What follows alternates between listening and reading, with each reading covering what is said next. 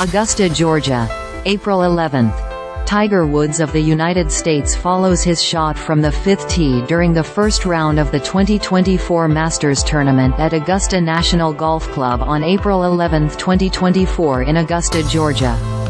Photo by Maddie Meyer, Getty Images.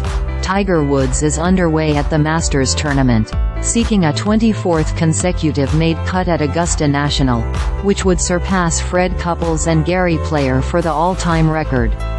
Woods was originally scheduled to tee off at 1.24 p.m. Eastern Time Thursday, but his tee time was pushed back to 3.54 p.m. after play was delayed due to overnight storms that softened the course considerably. Woods, 48, is grouped for the first two rounds with Jason Day and Max Homa. He will likely complete his opening round on Friday morning. Sunset in Augusta is slated for 7.56 p.m. after undergoing ankle surgery following a WD during the third round of last year's Masters. Woods returned to tour competition at the Genesis Invitational in February where he opened in 1 over 72 but withdrew during the second round due to flu-like symptoms. The Masters is Woods' first start since withdrawing at the Genesis, and he said Tuesday that he still believes he can contend and win. That's why he's here, after all. If everything comes together, I think I can get one more, said the five-time Masters winner on Tuesday. The Masters opening round airs from 3 to 7.30 p.m. Thursday on ESPN and Masters.com, with additional featured holes and featured groups coverage on Masters.com. Follow along to see how Woods' opening round unfolds at Augusta National. Hole 11, par 4, 520 yards. Woods has played this hole a cumulative 17 over across his career but he has no such trouble on the tee shot Thursday. Striping it down the fairway's left side as he begins Augusta National's famed Amen Corner. Hole 10. Par 4.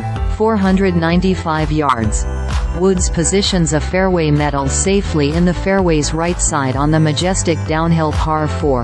But he misses the green right with his second shot from 216 yards, leaving a slippery greenside bunker shot. Ever a short game magician, Woods has no troubles with his third shot from the bunker, playing a nifty splash shot that lands in the fairway cut and releases to leave a 4-foot uphill par putt. The patrons roar with deserving approval. He drains the par putt, dead center, to stay in red figures. Hole 9, par 4, 460 yards.